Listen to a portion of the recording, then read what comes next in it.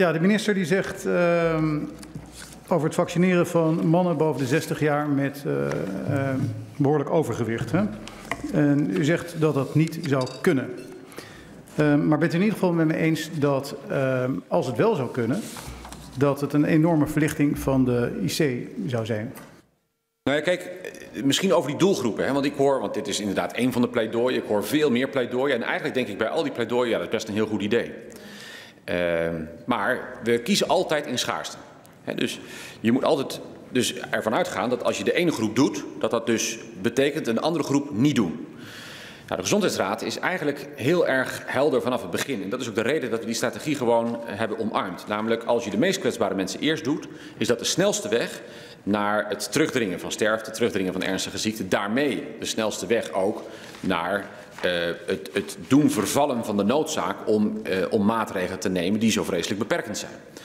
Dus dat is eigenlijk voor iedereen een goede strategie om te voeren. Nou geldt voor die mannen die de IC uh, bevolken, uh, uh, geldt natuurlijk dat als zij beschermd zouden zijn, dat je daarmee ook een flinke stap zou hebben gezet.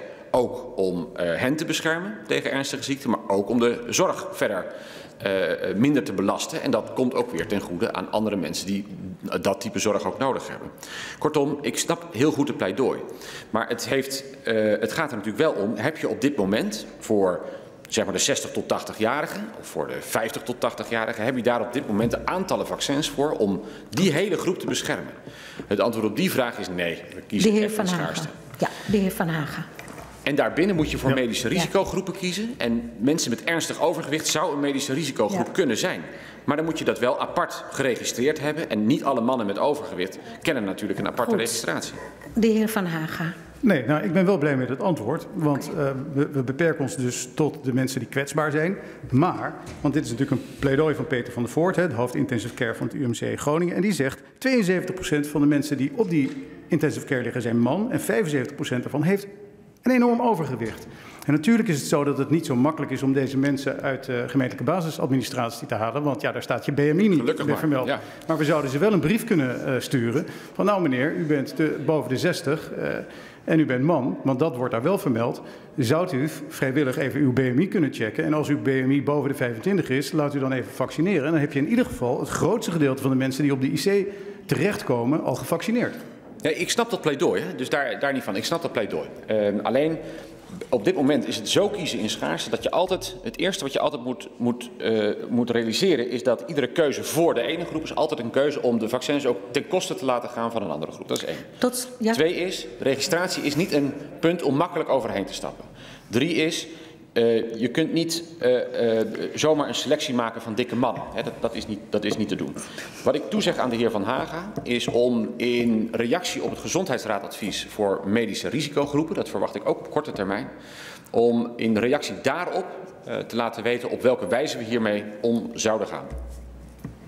Ja, dat, dat vind Ja? ik een hele mooie toezegging. Want, want we stellen in ieder geval vast dat het grootste gedeelte deze, deze groep betreft. En dat het wel degelijk een, eh, een verlichting zou zijn of zou kunnen opleveren. Want ja, we hebben nou eenmaal gemerkt dat u niet bereid bent om het aantal IC-bedden op te schalen. En dat als we kijken naar deze groep kwetsbaren, dat daar het grootste gedeelte man van is en eh, eh, nou, overgewicht heeft. Dus Oh. een BMI boven de 25. Dus ik neem deze Dank u wel. handreiking Ja. van harte aan. Dank u wel. Ik heb de heer Klaver, de heer Van der Staaij, de heer Jetten, de heer Koezo en dan de heer Dijkhoff. De heer Je- Nee, dan is het al laat. Ik sluit het hierbij aan. Dan, dat mag wel.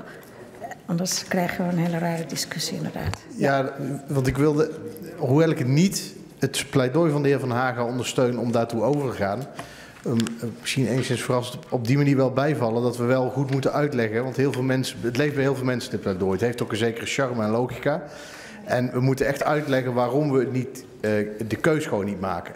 Want praktisch gezien is, kan het echt wel. Dus je kunt gewoon ook een weegschaal er neerzetten. En dan, dan deel je dat door het kwadraat van je lengte en dan kom je tot je schrik in aanmerking dat je ook in die categorie valt. Of, of niet.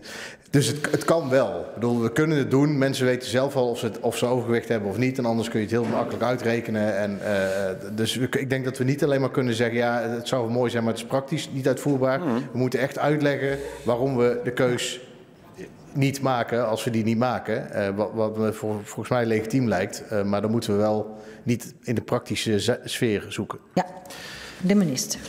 Dus terecht, terecht. Het, het, heeft praktische kanten, maar zelfs als ik die aan de kant zet, dan heeft het daarnaast heeft het allerlei ethische kanten. Uh, waar we ook niet omheen kunnen. Zou je bijvoorbeeld moeten kiezen om eerst alle mannen te vaccineren en daarna de vrouwen, omdat mannen een groter risico hebben om op de IC te komen? Is een ethische vraag waar je echt niet zomaar uit bent. Uh, daar zou ik in ieder geval niet voor willen kiezen. Uh, de principiële kant, bijvoorbeeld van leefstijl, dat, daar zijn we doorgaans zeer terughoudend in om leefstijl en behandeling om dat op zo'n manier aan elkaar te koppelen eh, dat, nou dat we dus in dit type keuzes terechtkomen.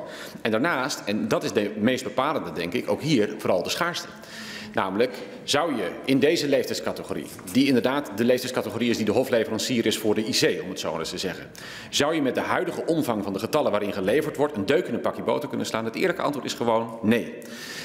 60, 65 zou een ander verhaal kunnen worden, want AstraZeneca, daar kom ik op terug. En in die relatie kom ik ook terug op uh, het advies van de Gezondheidsraad uh, rondom medische risico's. En medische risico's is onder andere ook een BMI, maar dan, goed, dan gaat het wel over hogere aantallen nog, een BMI van boven de 40.